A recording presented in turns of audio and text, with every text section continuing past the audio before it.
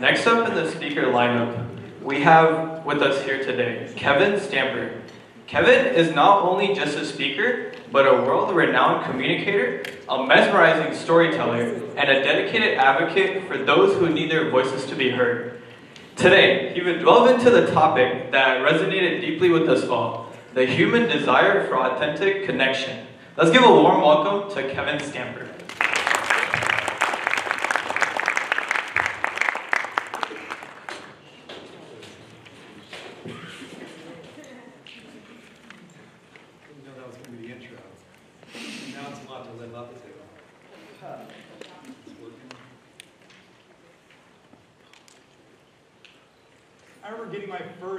Kid job, like, like a grown up, you know? When you get that first big kid job, one of the things that comes with it sometimes is a move.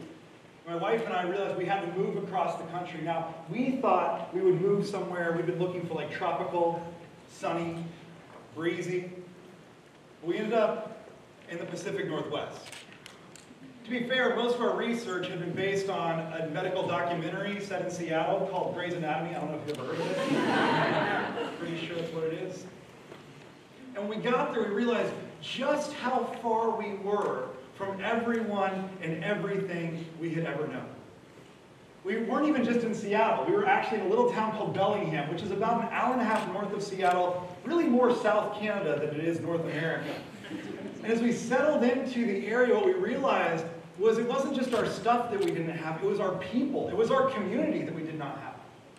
And so we settled into a house that was not ours, onto a couch that did not belong to us, in a city that did not feel like ours. My wife sat down on the couch in this house that we were going to house sit for for a week, and I went upstairs to go change into soft clothes. You know what soft clothes are? Right, like sweatpants? That t-shirt that your wife's been telling you you need to throw away for quite some time came back downstairs and I saw my wife Marie sitting on the couch.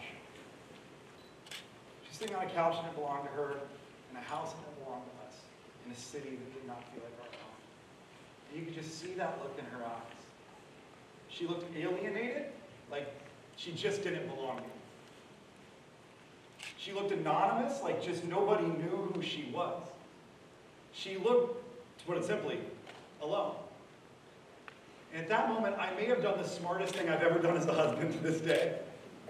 I walked over to her, I sat down next to her, and I said, Marie, I'm going to give you 10 minutes. I'm not going to say a word, and you can cry as much as you need. I barely finished the sentence, and she was already in tears. And not like pretty tears. It wasn't the TV crying. It was the real weeping with like snot and bubbles, the whole thing on my shoulder, and I just held her. And finally, she started to collect herself.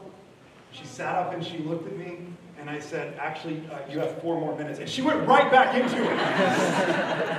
I don't even know how you do that. Me and my cold, dead heart cannot comprehend how that happened. Have you ever felt this way? Have you ever felt absolutely like you are just an alienated person, even in a position where you know you belong there. Maybe you're a freshman in school right now. Maybe you're new to a community. Maybe you're getting your feet wet in a new neighborhood. And you're like, I know I belong here, yet you feel alienated. You just don't feel like it's your people. Maybe you feel anonymous, where you go to the same apartment complex every day, the same place that you live every day, the same classes every day, yet you feel like nobody knows you. Maybe if we put it bluntly, you feel alone. Have you ever felt this way? If you have, I have some good and bad news for you. Because you're living in a culture specifically designed to make you feel that way.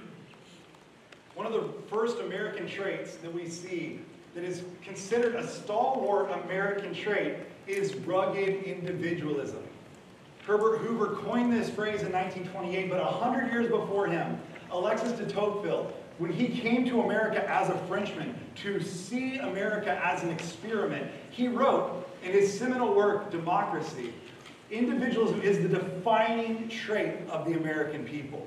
And while that may sound like it's encouragement, it actually is admonishment.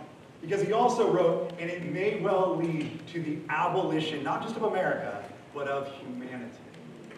And since that time, we kept it in check for quite a while. Until about World War II.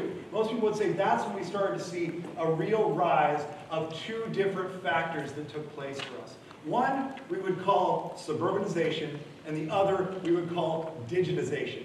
And what they led to was simply two different things isolation and insulation. What we wanted was to move to places where there were less people, we could be more isolated, but we also wanted to move to places where we were more insulated. We only wanted people like us, people in our tax bracket, people with our skin color, people in our political party. One of my favorite examples of this actually shows up not just through suburbanization, but in digitalization too. Because as we started to become digitalized, we started to realize we wanted a bespoke thing for ourselves. Everything should be tailor-made to me, and I should be tethered to no one. And when I started to do, when we started to do that, we started to change fundamentally who we were in community. One of my favorite examples is in the town where I live now. It is sunny, it is tropical. I live in beautiful sunny Tampa Bay. This is the Tampa Theater. This is my son Oliver standing in front of it. He's very, very proud that he's in front of the screen, uh, in front of you right now on the screen. He's like really excited.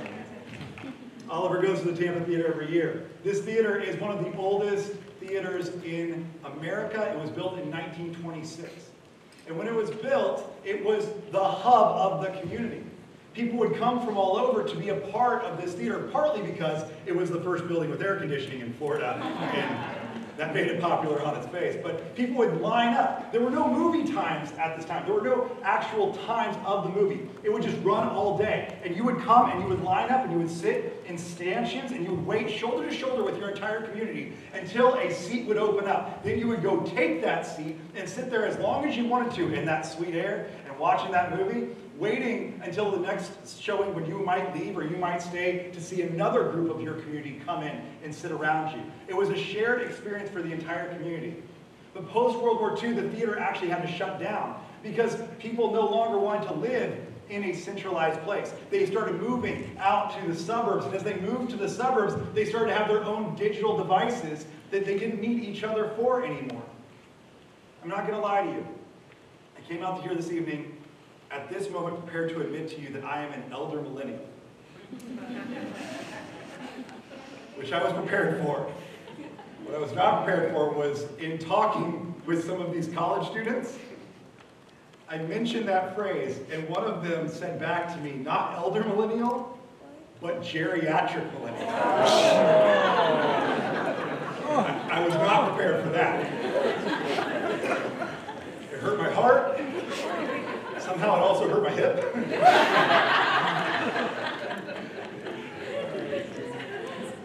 but as a geriatric millennial, I remember when it was new to have a screen in your living room. But then it was super cool if you also had a screen like in your own bedroom. Or swanky people got them in their bathroom. Or maybe those were the weirdos. Some people had them in their kitchen, you would start to see these screens just start to show up.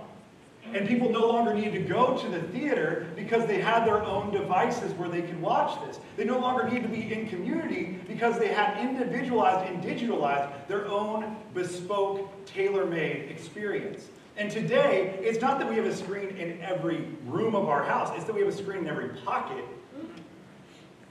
I no longer have to ask permission from my wife when I want to watch a show. Not that I do that. But I also don't have to have her participation. We don't have to do it together either. We no longer have shared experiences between us. And so when I want to take my device and I want to watch something, it's as bespoke and tailor-made as my own Face ID. So when I go watch my super cool shows, like Outer Banks, that wasn't a joke. Okay, who am I kidding? I'm geriatric. When I go watch Yellowstone, like people my age, I don't have to have them be a part of it anymore. And what's happened as this suburbanization and digitalization has happened is really we've seen a rise of loneliness at epic proportions worldwide. Right now in the UK, people are more lonely than they've ever been. Theresa May, the former prime minister, once said in a speech that loneliness is the sad reality of modern life. as she appointed a loneliness minister for the first time in the UK. But in America, we're living the American dream, but it may feel more like an American nightmare. If You study proxemics, which is one of my favorite understandings of how we live in community. Proxemics was developed in 1963 by Dr. Edward Hall. When he created this, it was looking at your, your community, but through concentric circles. And so as he talks about it, he talks about the public, which is the broadest spectrum. This is anybody probably on like a college campus, or in your city, or, or in a broad, maybe a stadium a broad understanding of the people that you come in contact with. Then inside of that is the social group. So that would be people probably in a class of yours, not people you interact with every single day, but people closer to you within that, neighbors in your neighborhood. Then there's the personal, those relationships that we all carry, those people that you are in relationship with on a consistent basis. And then the intimate, the people that are your closest confidants, partners, spouses.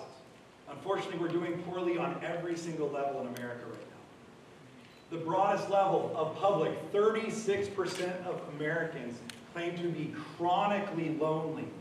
Even in the biggest crowds, you can still feel alone. And then inside of that, the social circle, 36% of Americans, again, say that they have not even talked to their neighbor, never had a conversation with their own neighbor. Inside of that, in the personal relationships, 75% of Americans say they are dissatisfied with their current personal relationships. And saddest of all, in the intimate circle, is that 25% of Americans say that they have zero, not one single confidant, not one person they can trust that. And while this sounds like just an emotional issue, it's more than that. It's a physical issue. In fact, we see studies showing that people that are chronically lonely have the same health effects as somebody who smokes up to 15 cigarettes a day. That means it's more deadly than heart disease, it's more deadly than obesity. Dr. Vivek Murthy, who was formerly the Surgeon General of the United States, wrote in the Harvard Business Review, during my years caring for patients, the most common pathology I saw was not heart disease or diabetes, it was loneliness. and this is why I'm grateful for my wife who's sitting on that couch that day as I sat next to her and she collected herself. And she wiped the tears away and the smile. She looked at me. She said, I guess we're going to have to do some hard work. And she told me, go put on your hard clothes and burn that shirt. because we have to do the hard work of going out to build community. Friends, one of the misnomers we have is we think community is created for us. No, community is created by us. It is our responsibility to create community. We don't just fold into one. Rather, we unfold it for others. And so a couple of misnomers as we reset, as we control, alt, delete, as we look forward to the future, what are some misnomers that we can look at and say, this is what we have to reframe in our own minds in order to enable us to build a true community? First of all, we have to realize that chemistry is not the same thing as community. Chemistry is having those people that are the same tax bracket, the same skin color, people who see the world the way you do, they're in the same political party. But chemistry, at the end of the day, if I'm only building a community around people like me, it's because I don't like those people. It's because I like me. And a community cannot thrive when I am at the center of it. It only thrives when there is a common cause at the center of it. There is no such thing as a self-serving community. That's a clique. There is only self-sacrificing in community. That's how communities grow. Because it takes us down a dangerous path. If we start to believe that we, as the center of the community, are all that is right and good and true in the world, we will begin to develop not communities, but tribes. And tribes are different than community because tribes are the anti-community. Tribes are when you come together because of what you are against, not because of what you are for. Tribes are when you come together because of what you collectively hate, not because of what you collectively love. David Brooks writes that tribes are the dark twin of community. They fool us into being a part of it, but they are not true community. Chemistry and community cannot coexist. It's greater than that, it's bigger than that. Secondly, we have to begin to see that connectivity is also not community. Yes, it's great that we have social networks. And again, as a geriatric millennial. I use Instagram. I'll be honest with you. I go there to watch TikTok videos. like people my age do. And it's amazing we have all these platforms only to make us feel more lonely. There are many studies that show that it is great to use social media actually as a supplement to relationship, but not as a substitute for relationship. And when we start to think that connectivity is the same as community, what happens is we cheapen both. And we start to see community through the lens of a phone. And we start to think that liking a reel is being liked in real life. And they are not the same thing. Why? Because connectivity requires no commitment. And there is no such thing as community without commitment. Right now, if I'm being honest with you, I'm very grateful for the community I've built over the past few years. My wife, my family, the people closest to me, but every concentric circle from there. I'm so grateful that now in my big kid job, I live in Tampa Bay, Florida, and I have built a community through a church, through my work, through friends who are sitting here in this audience right now. I'm so grateful for the community I've built and how they've been there for me as I've been there for them. And I want to tell you, the work that I do, I'm so grateful for because I work for a nonprofit called LSF. LSF is a, a nonprofit that touches 1 in 50 Floridians, mostly the most vulnerable. We do that in three different ways by working to create safe places for children, to create strong families, and to create vibrant communities. But vibrant communities are not created by programs, they're created by people. And one of my favorite people doing this right now is this young lady, Eason. She decided she was going to move for a job. And she was looking for somewhere that would be tropical and sunny and breezy and she found Tampa Bay, Florida. She did her research directly. and when she got there, she realized how far she was from everybody she'd ever known, everything she'd ever known. And it wasn't just that she missed her stuff, it was that she missed her people. She had never crossed the Atlantic before.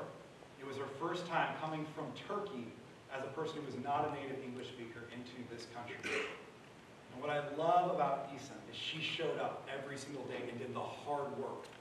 She came to one of our community centers that we have.